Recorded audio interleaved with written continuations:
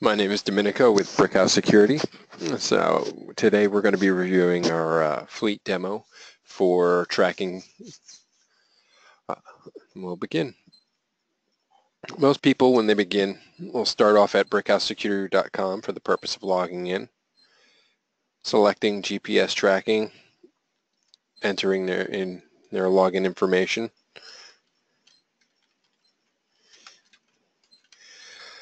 For our purposes, I'm going to kind of skip over that because the login I'm using isn't tied to an account from that screen. But when you do log in, it will bring you to this screen. Here, it'll load up to the dashboard. Here we have uh, the dashboard screen. It's kind of our starting screen. It gives you the view of you have your group, which is broken down into device types you have a summary and some other indicators here. An announcements field. If we have anything to post and announce, we'll fill that box up and recent alerts. Uh, this screen here, the summary and the little, I guess, dashboard indicators you can customize if you wanted to get rid of the summary and put low battery or fuel consumption, you could do that but I, I generally just leave it as is with the summary. Um, as you can see, we've got some speed and some other information here. Uh, for alerts, we have an alert. So it just gives you some quick information. The device types break down into assets, which are our battery-powered units, uh, such as our Nano 4, our Nano 5, and the Eon. We currently don't actually offer individual tracking solutions. Those were software solutions based on uh, BlackBerry technology. We don't currently offer that as not enough people carry Blackberries anymore. Just simple. Vehicles, they break down into our hardwire and OBD port units. Uh, the OBD port would be our TrackPort 2 and our hardwire units are our LiveWire and our LiveWire Micro. And we also have two more fields here. Uh, drivers are assignable users to a vehicle for the purpose of reports. And landmarks. Landmarks are uh, also interchangeable with points of location or points of interest, I should say. And points of interest are also a uh, possibility for reports or notifications. Um, but we also do have geofences. Uh, geofences are imaginary fences that you can set up uh, for the purpose of using them as a trigger for alerts or reports or other uh, needs uh, to in, trigger for some an alert for speeding. So those are some options with geofences, which are very similar to landmarks. I know we prefer geofences here because it, you would set up and customize your fence. It's more custom to your need. So it's that's why we recommend it. So we're going to kind of just jump in here I'm going to jump into our vehicle real quick. This gives you a little more information here. So actually I'll I'm going to jump around real quick. My apologies. So we're going to go into here. This gives us some information. So for each of these we have some voltage, some battery level, some quick indicators, some the name of the unit, a description, given it a description so I get more details out of it. Uh, the type of unit, uh, the date it tracked, and our identifier. So we can also, if you, addresses, if you've assigned information to it. Uh, I'm just going to select this one here.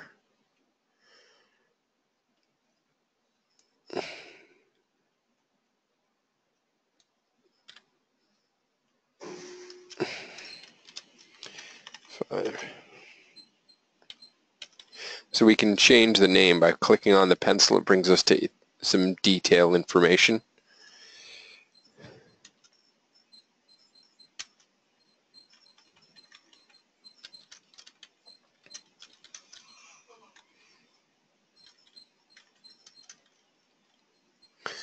Uh, if I had the address, I could list it here if there's a specific point that this asset should be. Uh, a contact number, local descriptions, whatever you want it to be really. Uh, you could uh, you could put a contact person in there. Uh, this device doesn't particularly read temperature, so it won't have anything. And I'm gonna. So we've changed the name. So if I click back here, we're still under our asset type, and now instead of nano V, whatever, it, that name is changed. I've changed the name. Although none of the other information besides the description is changed. So I'm going to also kind of go over to here into our vehicle. I can get rid of my name off of this. Oops. Delete that. Just make sure as you see, the VIN numbers there. This was pulled uh, by the TrackPort 2, uh, and that is vehicle by vehicle, depending on whether your onboard computer will share that information. Uh, gave it a description. I'll leave the description. I have the year, the make, the model. You can put in the color. Click here and kind of wheel around up and down whether that's the color or not to match your car's color. Um, but we also have additional information. We have we have the engine information, although that odometer I need to correct. I haven't done that, but I could. Uh, it gives me how long the engine hours. Um, those engine hours are for when the uh, device was installed. So I've driven 19 hours worth of driving since installing this. I can add some fuel information. We'll try a fuel report later on. and then some a whole additional field. We also have drivers, as I was saying before. Uh, we can assign drivers, and drivers would be assigned for the purpose of reports. So I'm going to remove this driver. It's asking me to confirm. I'm going to click to confirm that. Confirm. I'm going to assign a new driver. Actually, I think I want, yeah, I'll leave that. And so we have driver X now. And then it gives us the history of when that last driver was assigned and our current one. Now to finish off, I have to save it. So now it's logged there. Now that I've saved it, it's popped up in the history. We also have, you can add some maintenance information, which I haven't done, so I'll do a quick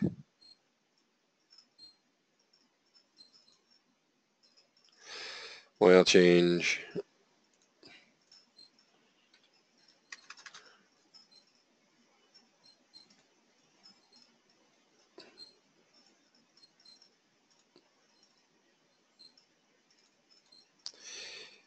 Say three months from now. Save. Confirm so we can get reminders for oil changes and things as well. And it'll log a history. So I'm going to kind of jump back to our dashboard again. I'm going to click inside the group So once again, we're um, now we're in the group editor. Uh, things we can do from here. One thing that people love is setting up alerts. They like to be alerted to things. I'm going to just delete some of these real quick so we've set a few up.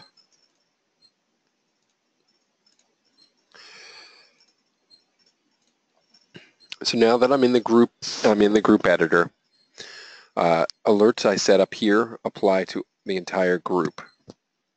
Uh, the common type of alerts that will apply to all unit types are going to be excessive speed, geofence, and geofence speed.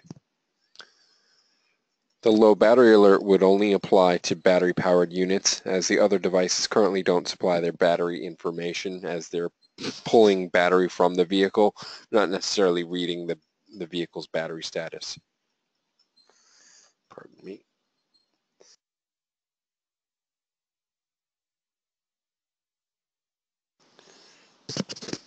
So now we can set up an excessive speed alert. I'll enter in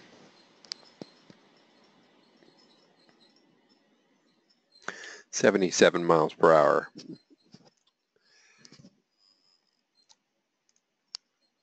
This current schedule, or by default, it is seven days a week, 24 hours a day.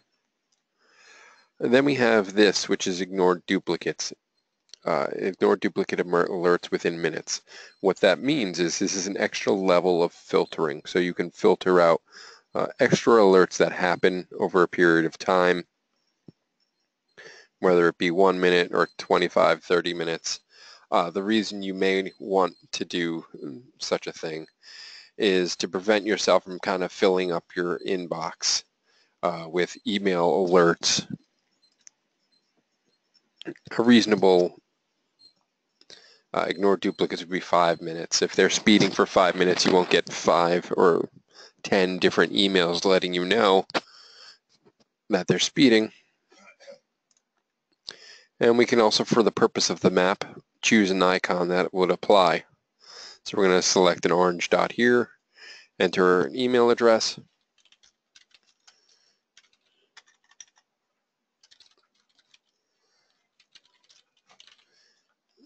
and then click Save. And the same would apply here for our geofence, except we don't put a value in. This is just for any geofence trigger. We'll review more on that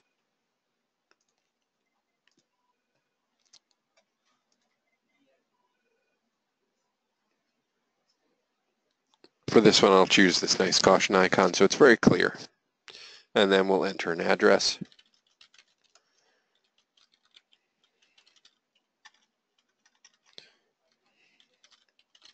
And we'll save.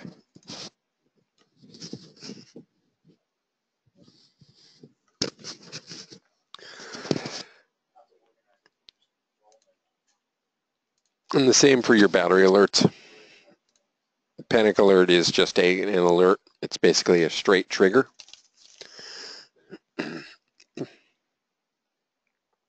if there were alerts, you can also view some here. Pardon me. Here we go. We have an alert. So I can see an alert from the about two days ago. So I can look back and see alerts.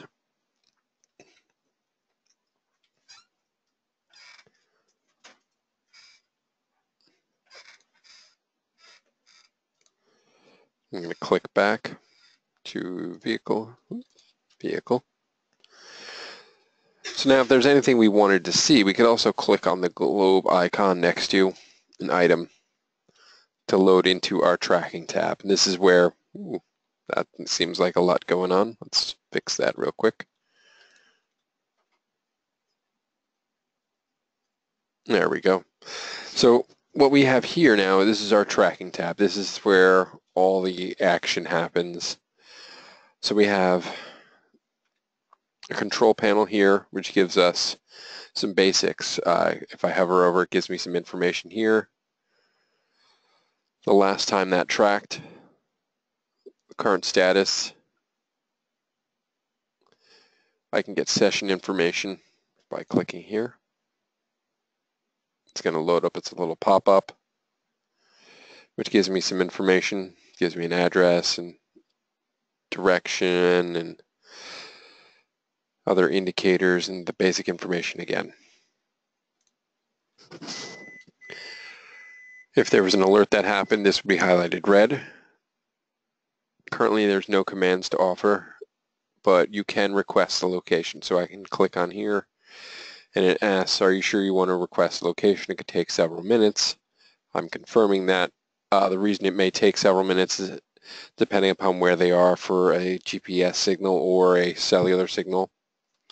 Um, if it's in the middle of a parking garage, there's a less likelihood that you will get an update as GPS signals are reduced in such a part like a thick parking structure or a very solid garage uh, where GPS signal doesn't happen would be a reason you wouldn't get an update but otherwise uh, as long as the device is on, got power, and communicating, you will get an update.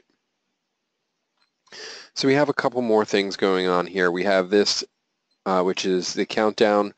This is the site checking for new information. This is uh, completely separate of the tracking interval of a unit. Uh, this is you telling the site when you want it to check for new information and new details. So you can kind of drop down and change that. You can also stop that counter if you wanted for a moment and then click play again and it will resume. Here we can hide the label or show the label and then show the label regardless of zoom. That's personal preference. Most people I imagine want to see the label. Then we also have the uh, points of interest. If I click here, it'll show that's where my car goes, I guess. You can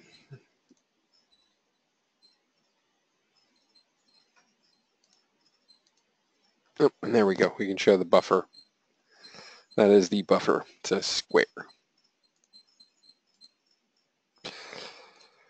And we can also show geofences.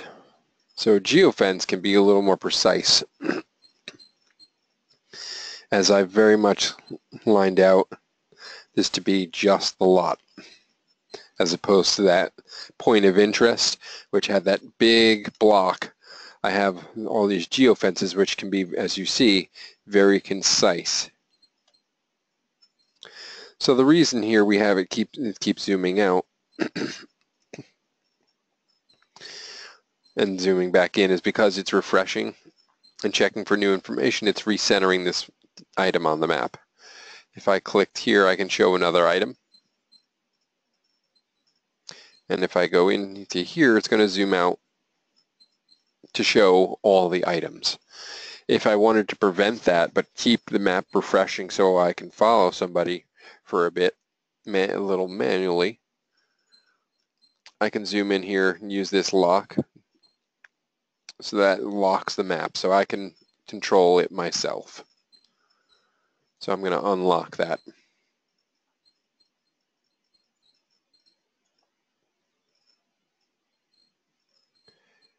And it's going to zoom out. There we go.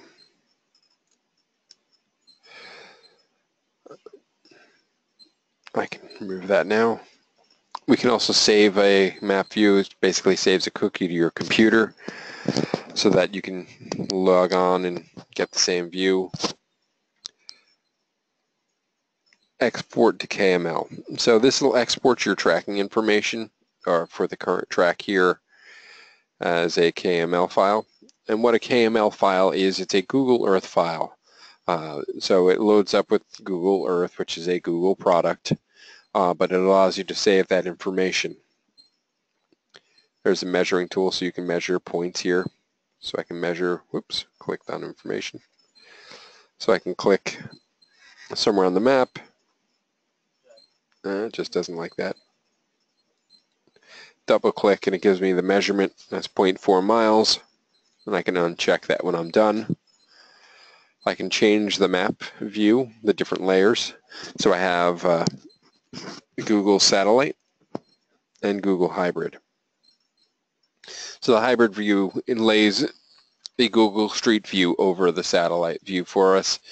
So it makes it easier to recognize even despite the fact that it's an overview. Uh, we can put away this little mini map here which displays the area we're looking at. So this is Jersey City.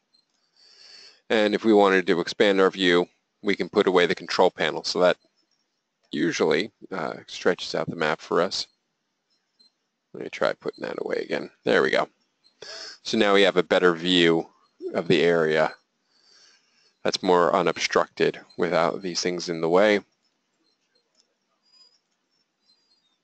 I'm just going to switch back here. So now another few points to look at. If we click on here, we do also have a few more options. Uh, we have the option to request a location here. You can enter some maintenance information. We have the street view. This is a Google Maps feature. And the vehicle is actually right there, so that is correct. If I needed to adjust my view, I can kind of move it around. But it is uh, it is a Google Maps feature, so it is only available where Google has um, sent their trucks down. Then we also have the live tracker. The live tracker is really very similar to that map. It gives it loads up a few different points, but the main purpose of it is to allow you to share. You can enter in an email address.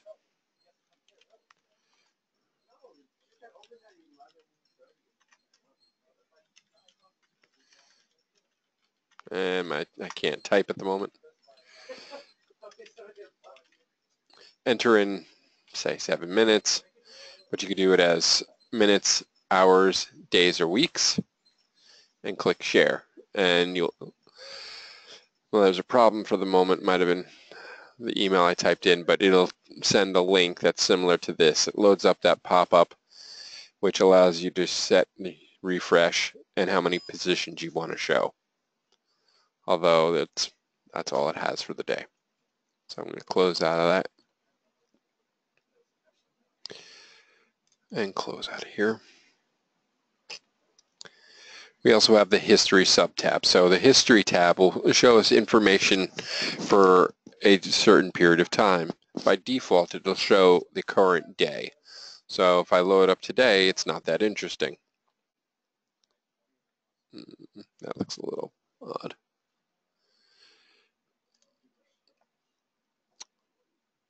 So if I do, say, Saturday, or if I do multiple days, we'll do multiple days. I'm going to search. So here I have the 13th, the 14th, and the 15th. So I have a few different devices here to view. So I'll click on this to view, and I know I have a nice long track, but that's not the track I have. Let's try this.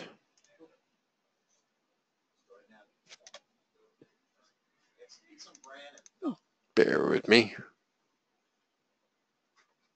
Because I know I didn't drive across the ocean.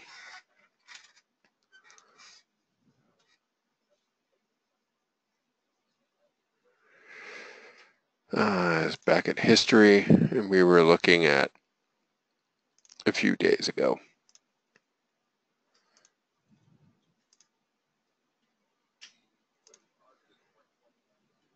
There we go. That's that's correct. I wasn't driving across the ocean. I don't have some sort of uh, duck car or anything. So here we have my trip. And this shows the different statuses on the left, as well as the time and the speed. And if you'll notice the main map, as I drag down, it highlights the point of where that is on the main map.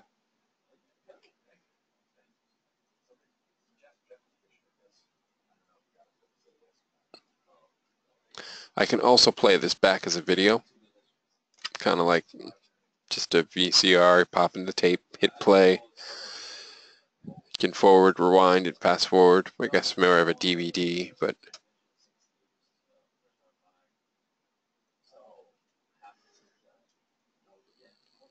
so I can increase the speed.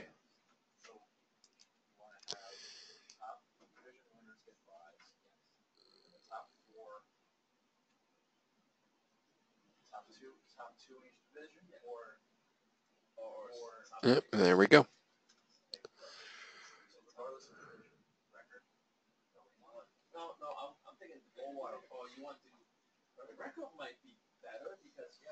Okay. And you can also click on each point for individual information on a particular point. So it shows where that is, and it gives you the information for that point under end. Okay.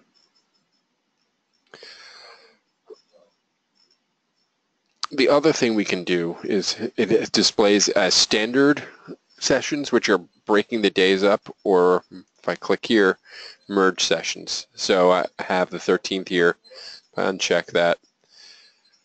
If I click here and click search again, now I have single trips, single sessions for the multiple days. So now if I load this up, you'll see a trip.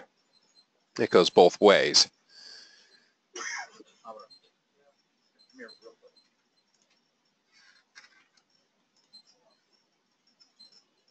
So we're going to load the somebody else's trip up. Let's see what they've been up to. So now we have a few days here, a very busy loop.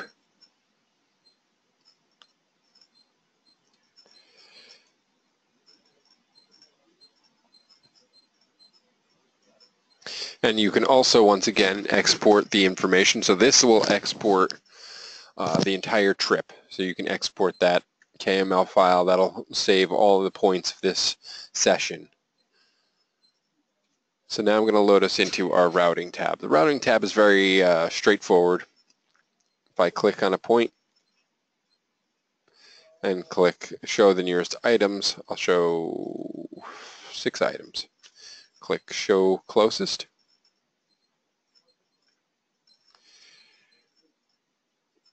And it shows which ones are closest and some direction you can get direction. So this one's 10 minutes away at 2.2 miles. This one's 13 minutes away and goes down the list and you can get directions. I can also clear this out and do within a circle. So I can do, put the center here, show closest,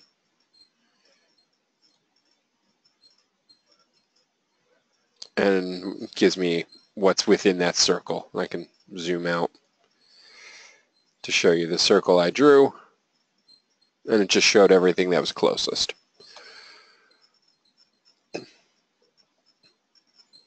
So now we're going to come to our geofences. Geofences are those triggers uh, for uh, alerting and reporting. So we have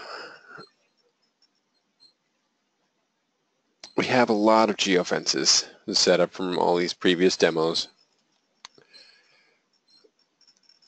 Here's a example. There we go. Where we, we drew one directly around the park just to show you that you can get very concise. Um, I like to think that's pretty close to the park shape. Uh, we can do simple circles. Not sure where this would pull up. Okay, yep. We clear that out. And then, so there are three types of geofences we're going to create. There are circles, polygons, which are multi-sided, and routes. So I can click anywhere on this map.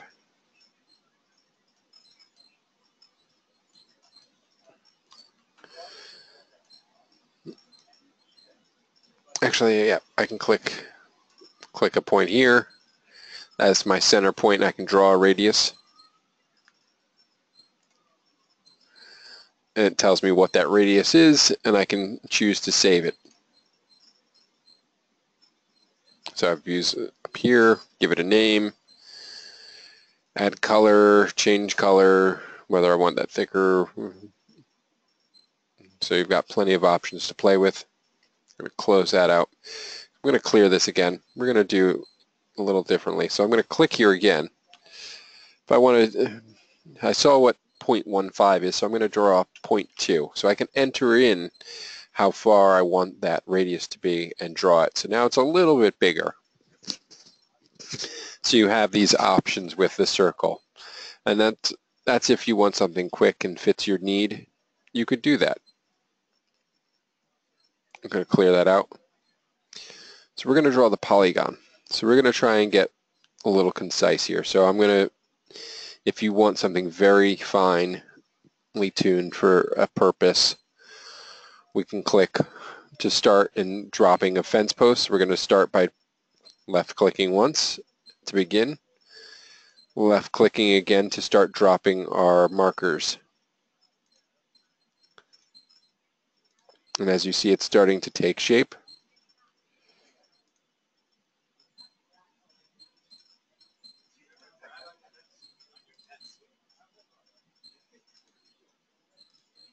And I'm going to left click and hold to move the map. And left click once to drop a marker. I'm going to left click and hold to move the map. Or if it'll let me, left click and hold, see that, there we go. Left click again to drop my marker. And I'm going to just keep going till I get everything here. And double left click to lock my shape. Okay, so I've I've clicked and made this complex shape here. I'm going to save this. Let's see.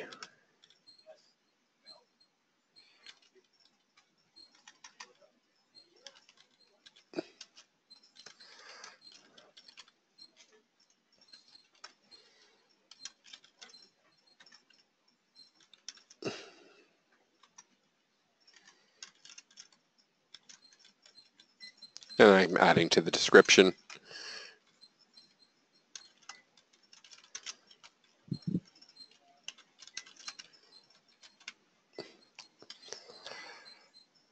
tells me what group it's going to. By default, it's my group, and I'm going to save. So we've made this new fence. I'm going to clear this out. The last type of fence that we have here is called a route. Um, it's very straightforward, I like to think, because you're just drawing a line on the road, left click to begin, and just draw out the route. The route is for the purpose of having a vehicle that you know is going to be going a certain way or supposed to travel in along a route that's predefined by you. I'm double click and it saved that line. Um, the reason is you give it a buffer. That buffer is in miles. Uh, the reason you give it that buffer, it's a trigger. So you would be alerted if they leave this route. Uh, you're giving them a buffer to stop for food, for gas, for uh, rest, for uh, detour, or any reason they would normally stop. But if they've exceeded that, you get an alert letting you know they've exceeded that allotment and would therefore need to be, you get an alert, and you can check on them to see why did you deviate from the route? What, Are you okay? Is there anything going on? It's usually for a truck that's going a specific uh, route that you've drawn. And that's the purpose of that. Once we have our fences created, then we need to assign them. So they create this one-to-one -one relationship. I know I already have a few fences already set up, but I'll assign another one. So we could do, so I have plenty of fences here that I've already created.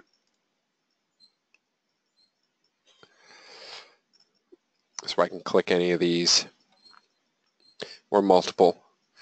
It gives us the options here on what the trigger, so the area is defined. Now the next part is the action. Uh, what happens when it enters the fence? What happens when, if you want, you can choose when it exits the fence, or both. Um, the reason you may choose none is you want to set up a speed.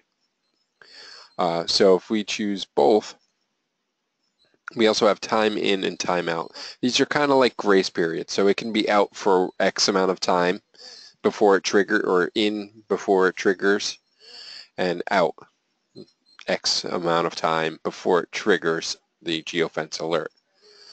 And the same here is uh, the speed would apply for your geofence speeding. You could set a minimum speed and maximum speed. If it exceeds that maximum speed, therefore, it would trigger your geofence speed alert. Uh, but there are also levels of filtering as well in a way that the geofence, if it doesn't exist, if it hit, if it's in that minimum, uh, you check off the days you want this geofence to exist. So it So you set off Monday through Sunday. By default, it gives you 24 hours a day. So I'm going to save that.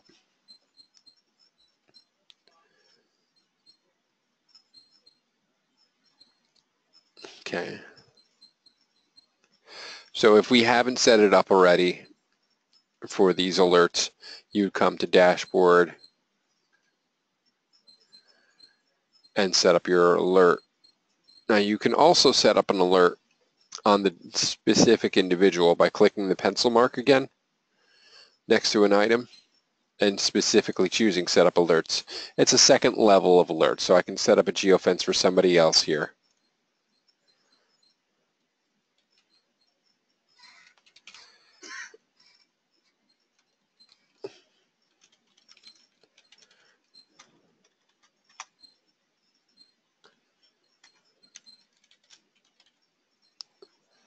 And once again, I can just give it an icon, be the same, so there's no question, and save. So this is the second level of alerts. And I've also saved my, that's how to set up a geofence alert to be, receive an email to know if one of those is triggered. Currently workflow doesn't apply, but reports do. So we're going to come to reports now. So we have a list, a lengthy list of reports here. Now those are from previous uh, demos that I've run. Most reports start out as a template. And you have a list of templates here that you can work with. Uh, the most common ones that people request are the detailed activity and detailed tracking. Uh, one of the main differences between these two is one, uh, the way they present the information. They have similar information. One color codes the information, one gives you more detail about just the specific uh, addresses. So we'll do a detailed tracking report.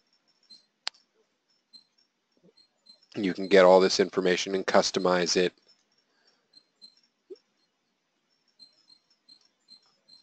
As I have one group, I can get rid of that so you can kind of take things away if you don't feel you need them. Next, I can choose a custom date range. I can select any one of these in the group. I can select multiple in the group. I'm actually going to change this date range because that's going to take a bit.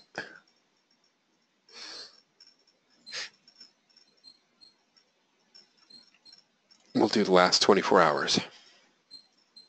It says stop threshold. I'm telling this site for the purpose of the report what I'm defining as a stop. I'm going to say a stop is five minutes and then movement threshold. I'm going to say two minutes. I'll use the ignition sensor when available and click next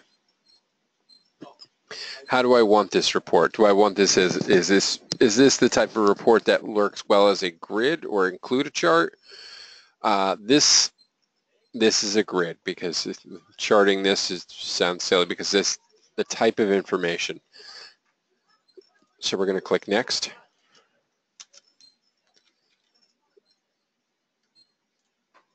Let's hope it lets me. There we go. So now it's running this report for those items.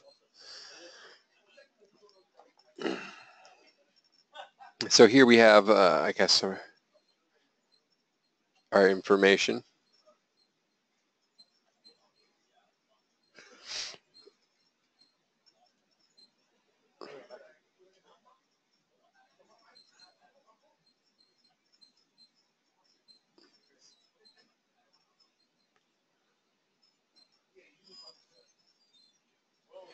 So it does, if you notice, it said tow. So that we, we would like to check because that's probably related to the ignition sensor. So it's probably not sensing an ignition, but it knows it's in motion. So therefore, it's decided that this is towing.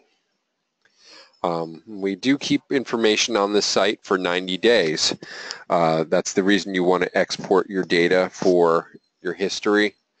Uh, one of the ways you can do it is saving a report or previously shown the tracking tab where you can export the history. You do have the option to export this as a PDF, Excel formats, rich text formats, web formats, plain text, uh, comma separated value, which is generally loads up in Excel or as a text, and image. So you have plenty of options to save this report type and then save this to disk or export, or short, export it and show it in a new window where you can choose to save it from there. And then you can print it and display, search.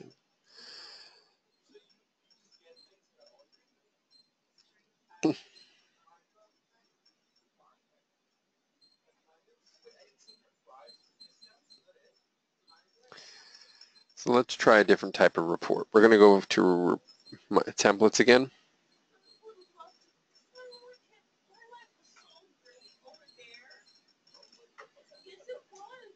I'm going to try a few. Let's see if we can do a fuel usage.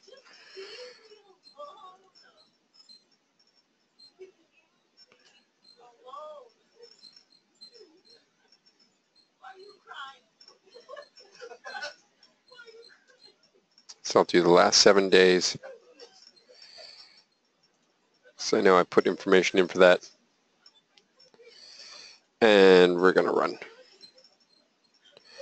We can try to do this as a chart. We'll do, so we select our values. So we want to do date, distance.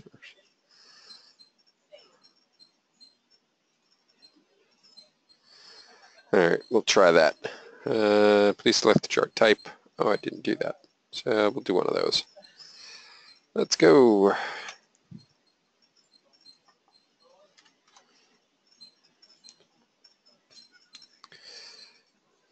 So now it's trying to load this information. Okay, so I guess this is our chart of data for fuel.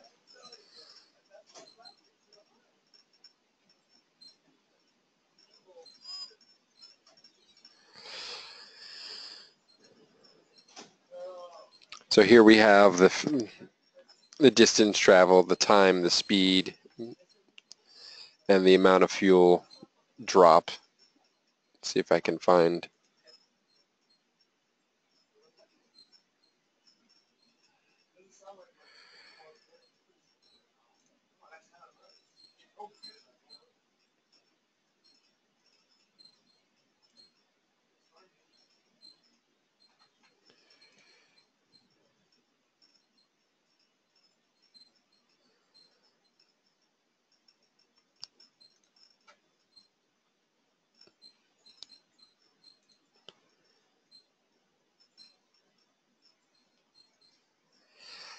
Just kind of reviewing through, see if I can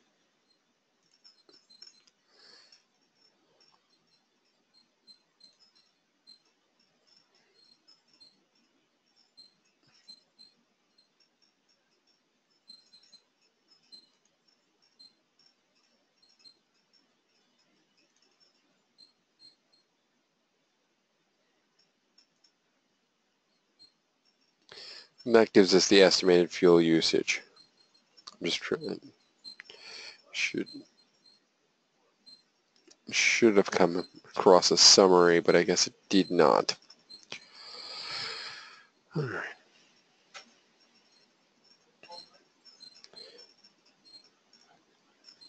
I'm going to load up quickly one of our uh, track reports.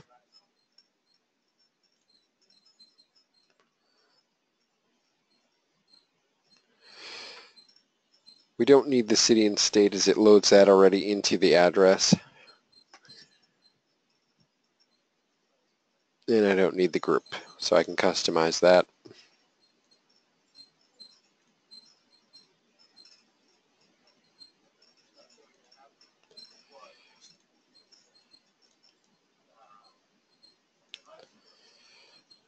Uh,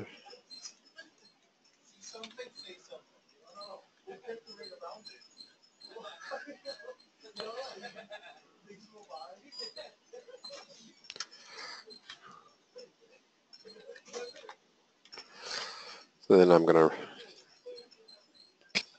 run this. so it loads up my trip, giving me the date, date and time, which vehicle, driver, and also has an alerts column, ignition on, tells you my ignition is on, I guess. So let's go to the summary.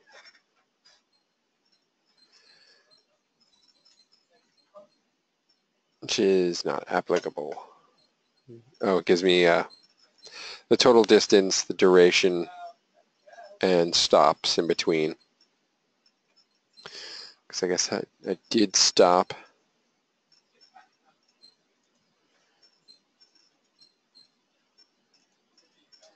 See if we can find where that was.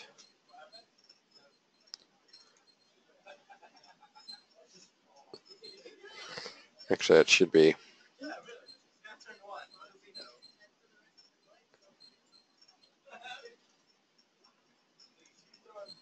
Oh, there we go. That was off. And we're back on and driving.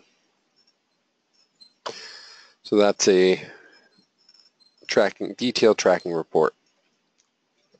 And we do have a couple of other ones to play with.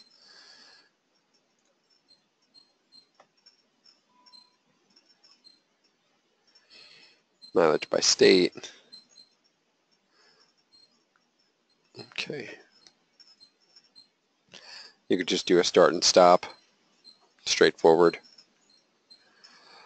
Uh, let's see. And do we have any questions right now?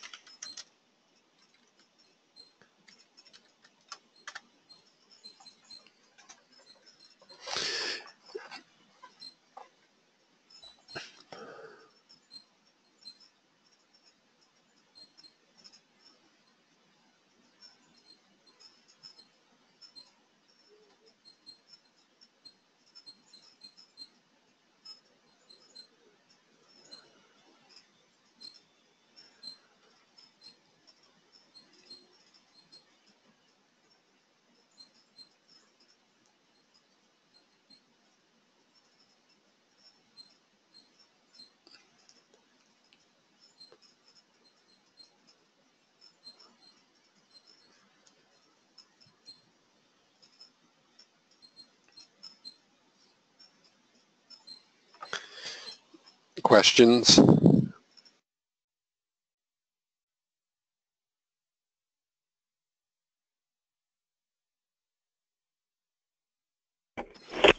As there are no, as our participant is left, I guess we'll end for the day. Thank you and have a great day.